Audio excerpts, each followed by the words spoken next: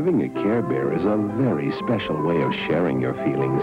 Bear, she's a wish come true. Because a Care Bear's tummy shows just what you're feeling in your heart. Cheer Bear! He'll help you cheer from the sidelines.